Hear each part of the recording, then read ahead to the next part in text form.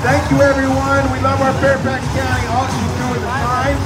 So when you see that stop sign, don't go by. No bueno.